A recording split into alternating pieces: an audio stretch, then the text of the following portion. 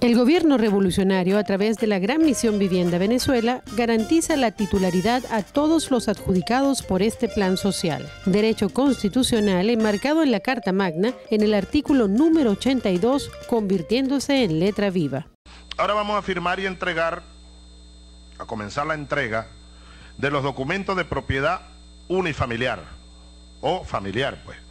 Cada familia, miren, esta es una cosa novedosa que está en la ley.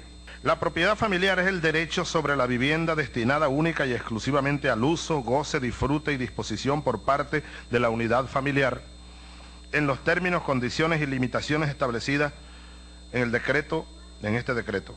La propiedad familiar sobre una vivienda también implica derechos y obligaciones sobre las cosas que sean calificadas como de uso y disfrute común. Las escaleras, ¿no? Eh, que la sala... Eh, de reuniones, las áreas comunes, pues, ¿no? Está incluido allí, derechos y obligaciones. Eso, tenemos que fortalecerlo. Cada uno tiene derechos, cada una, pero también tiene al mismo tiempo deberes, obligaciones, el deber social.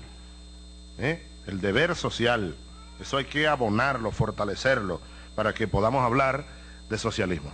Cumpliendo el legado del comandante Hugo Chávez, hoy el Estado venezolano garantiza el derecho a la propiedad familiar y multifamiliar de las viviendas construidas por la Gran Misión Vivienda Venezuela.